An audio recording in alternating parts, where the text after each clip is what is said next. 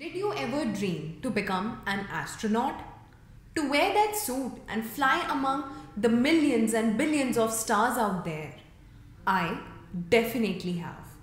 What's your dream? Is it also to be an astronaut?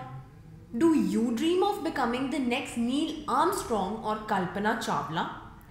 Well, it isn't going to be easy. So let's decode the outer space to build the foundation of achieving our dream. Have you ever wondered what's out there in the big blue sky? In the daytime, the sky is lit up by the brightly shining ball, the sun.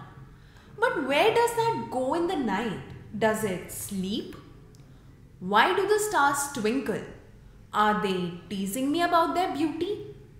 Are there more planets like Earth or are we alone? Let's find it out. The only reason to adore the night sky are the stars. No offense to the moon. Stars. Some twinkle and some don't. But why? Are they tired? Are those even stars or something else? All the answers lie somewhere.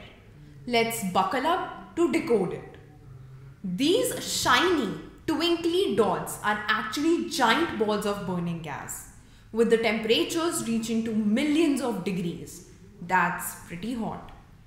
The sun is a star as well and it has a big happy family. The earth and its sister planets, their moons, big rocks of dust and ice we call comets and asteroids and all the other heavenly bodies that you can see in the sky are part of this happy family. Scientists call these members as celestial bodies and the family as a whole is referred to as the solar system. Let's meet them one by one. Planets. They are celestial bodies that revolve around a particular star in an orbit and gets all its light from that star. There are eight of them in our solar system. Just like Earth, the other planets do not have their own heat and light and use the light of the sun. They revolve around the sun in fixed elongated paths which are called orbits.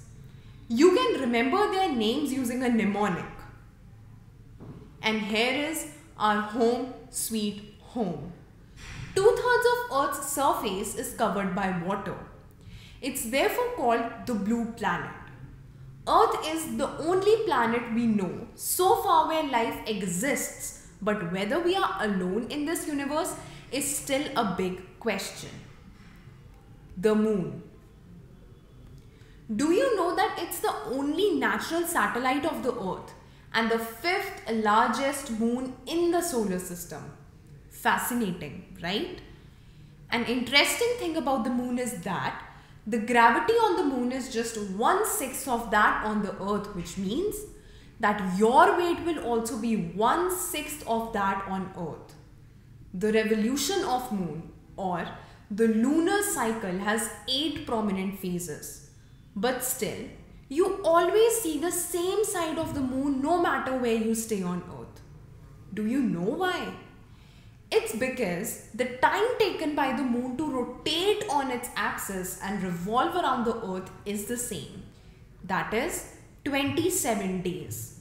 Therefore, we can get to see only one side of the moon always. It's time to test whether we are ready to become an astronaut or not. Who was the first person to step on the moon and when? You got it right. Neil Armstrong was the first man to step on the surface of the moon on 21st July 1969 with the Apollo 11 mission. He stated, that's one small step for man, one giant leap for mankind. So it is for you. Stay tuned for more amazing information.